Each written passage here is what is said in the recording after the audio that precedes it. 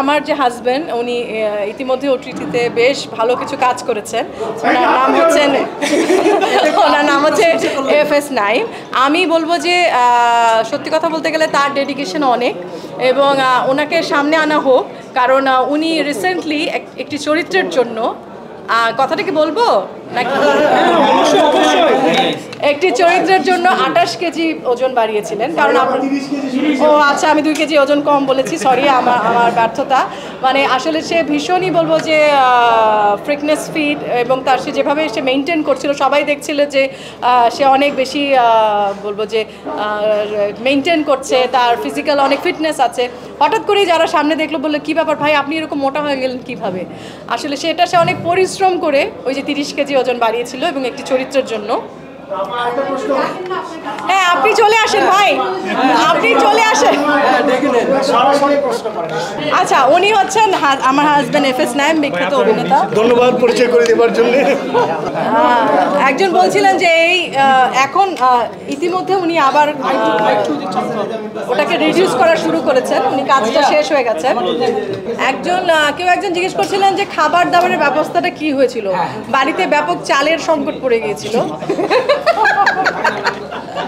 আসলে তা না।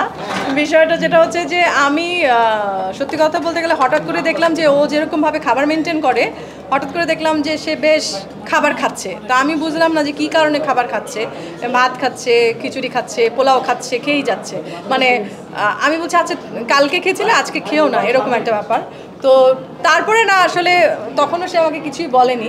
পরে রিভিল করল যে সে একটি চরিত্রের জন্য সে ওজন বাড়াচ্ছে এবং এক, দুই কেজি বা পাঁচ কেজি না তিরিশ কেজির মতো ওজন বাড়ানো একটা ভীষণই বলব যে যে কোনো মানুষের জন্য এটা ভীষণই ফ্রাস্ট্রেটিং যে নিজেকে সবসময় ফিট দেখতে পছন্দ করে সে যদি এরকম করে ওজন বাড়ায় এবং আসলে একটা মানুষের চলতে ফিরতেও কিন্তু কষ্ট হয়। আমি সেটা- আপনাদের সবার উদ্দেশ্যে বলছি প্লিজ নাদেরকে একবার থ্যাংক ইউ বলুন সবাই। থ্যাংক ইউ সত্যি কথা বল যখন আমাকে বলল যে ফিল্ম সিন্ডিকেটের কাজ তখন আমি আসলে আর কিছু বলিনি।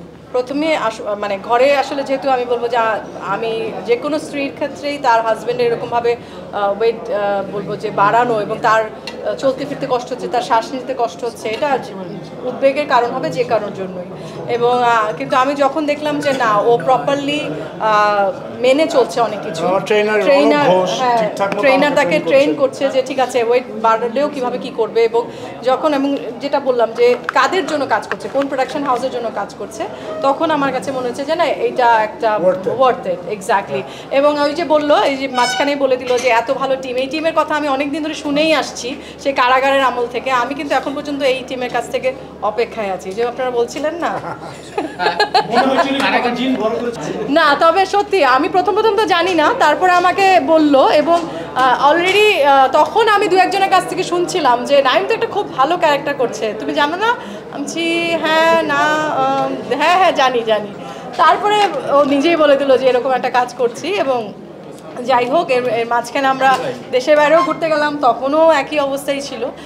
কাজটা ভালো হোক সবার কাছে সবাই দোয়া করবে। কাজটা সারা পৃথিবীর মানুষ সারা পৃথিবীর যত বাংলা ভাষাভাষী আছে তাদের জন্য যেন একটা ইন্সপিরেশন হয় যে হ্যাঁ শুধু বাইরের মানুষদেরকে দেখছি এরকম বড় বড় তাক লাগিয়ে দেওয়ার মতো কাজ করার আমাদের দেশে হচ্ছে। আমাদের করে। এক্স্যাক্টলি সো এইটুকু হলেই আমাদের সবার আপনাদের সহ সবার কষ্ট সার্থক।